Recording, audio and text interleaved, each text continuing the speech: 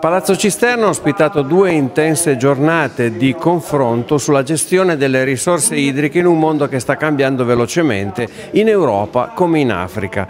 È un'iniziativa di HydroAid, della Scuola Internazionale dell'Acqua per lo Sviluppo, che ha sede a Torino, in collaborazione con la città metropolitana e la rete Arco Latino e con il sostegno finanziario dell'Ato 3, l'autorità d'ambito per le risorse idriche del torinese. Dobbiamo realizzare una crescita sostenibile che è alla base degli obiettivi che erano stati fissati dall'Agenda 2030.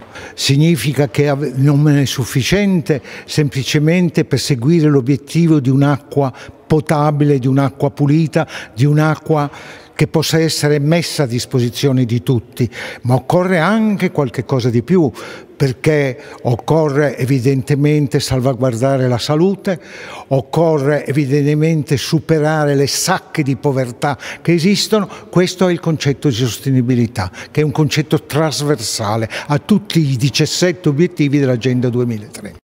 Il dialogo fra esperti europei e africani e la tavola rotonda internazionale su acqua e clima, coordinate comuni per un dialogo tra Europa e Africa, hanno riguardato l'analisi e il confronto fra i diversi modelli di governance dei servizi idrici, le buone pratiche locali, le sfide che il tema pone allo sviluppo sostenibile.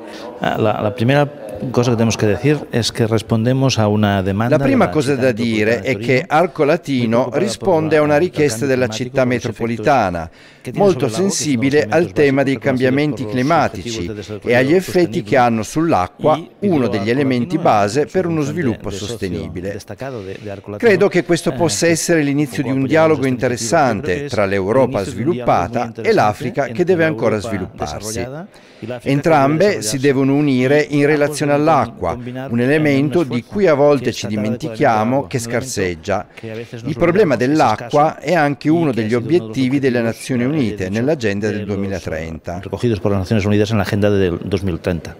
Per l'acqua si possono anche combattere delle guerre, questi conflitti possono essere prevenuti? Assolutamente sì, questi conflitti possono essere prevenuti e si possono prevenire con la cooperazione quindi con, con eh, progetti di collaborazione, eh, col dialogo e soltanto così si prevengono, anzi diventano una sfida per la crescita, perché l'acqua è lo, lo strumento fondamentale per la crescita.